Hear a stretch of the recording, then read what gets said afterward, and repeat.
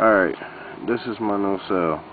I don't know if you can see this, but this is 27 stainless steel washers, and this is a O clamp, stainless steel O clamp. Yeah, now a little bit better lighting. Stainless steel clamps. The spacing I think is too small. I did not like the production. All of these that you see in the middle are all neutral plates. They touch nothing.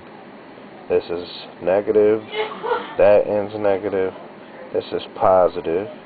And I did not like the production at all. It did nothing, even with baking soda in it. Um, any other ideas, let me know. It's nothing but 27 stainless steel washers.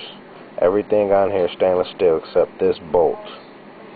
And you see I got zip ties going on down there to make sure none of those are touching. It's jam-packed with zip ties. And they go straight through. So nothing is touching. And this is my only thing on here that's not stainless steel. Any ideas would be good. Let me know what you think.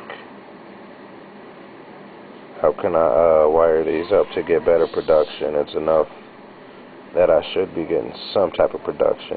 I seen one other guy using stainless steel washers on YouTube, and um, he had pretty good production. So let me know. My battery's dead. Ah. Later. Later, later, later.